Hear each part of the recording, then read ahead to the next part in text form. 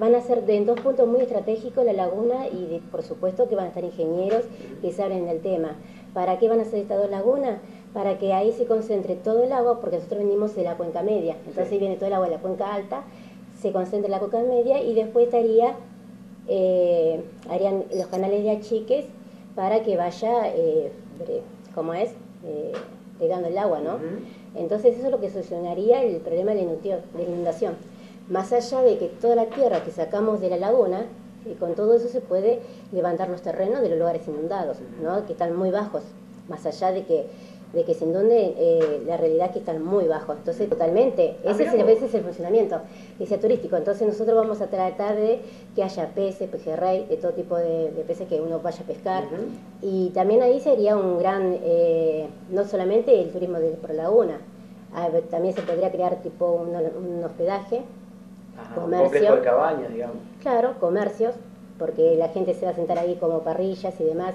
O sea, es un proyecto que trae trabajo para todos, no solamente se queda en hacer, como todo el mundo dice, un pocito y nada más, no. Sí. Ma- el tema es, solucionamos el tema de inundaciones, solucionamos el tema del empleo y solucionamos el tema de que, digamos, eh, la gente que se quede a, a hacer turismo acá en Cañuela, porque la gente viene de Capital, viene de todos lados, pasa por Cañuela, sigue a Lobos, Monte. Ujú. ¿Y por qué no Cañuelas? Claro. ¿Por qué no Cañuelas en lugar turismo? ¿Y, y, y- y dónde serían las lagunas?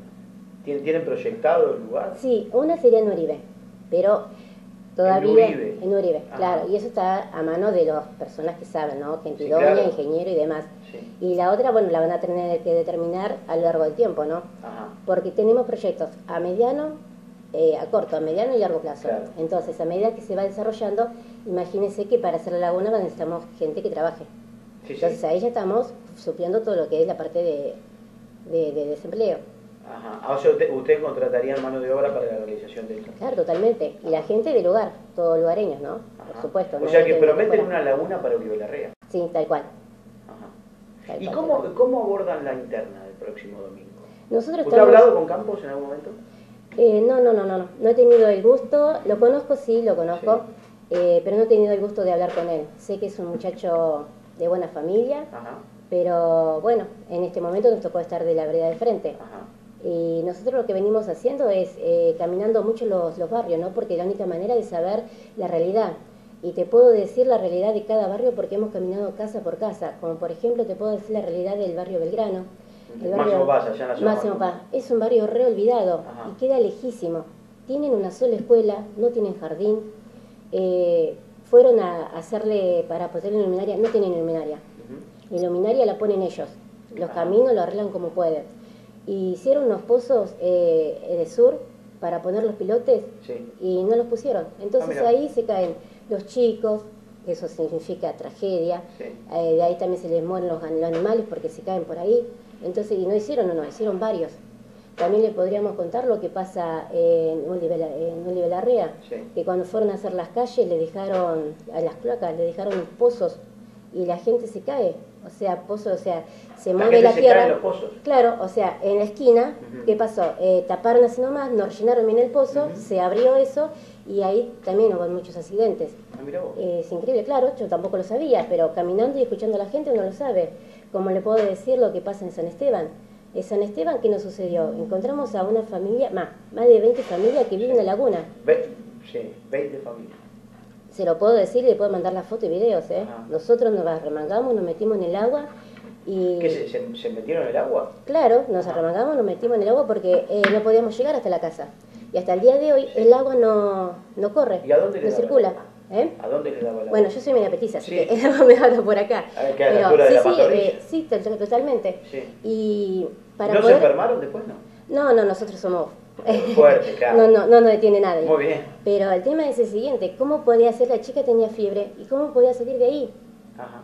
¿Comprende? Salen, sí. salen en bota ellos. Es el tipo de caso que dicen que para ir a estudiar tienen que salir de ese lugar eh, con una balsa. Y después también las calles están todas rotas, bueno, intransitable, ¿no? Obviamente.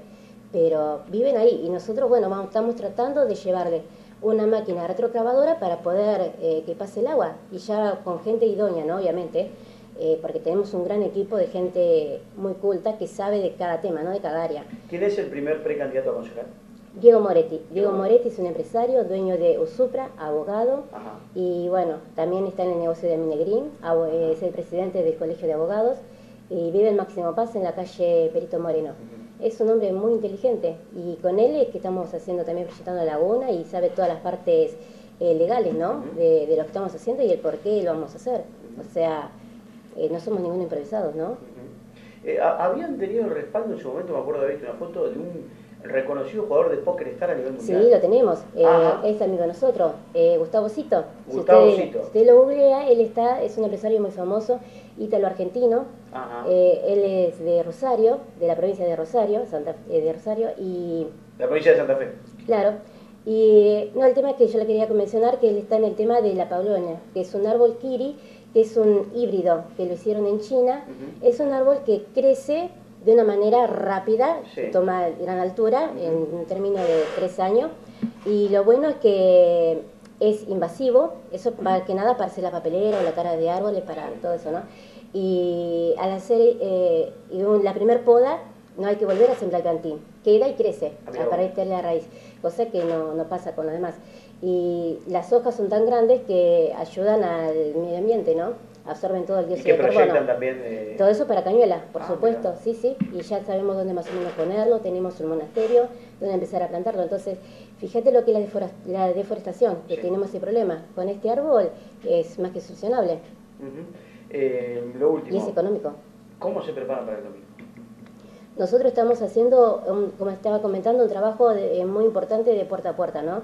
Eh, más allá de, de recorrer los barrios, pues los comentamos a la gente y les comentamos nuestra propuesta y nosotros no le decimos tan solo vote no, sumate, sumate a trabajar como nos fuimos sumando todos, ¿no? Sí.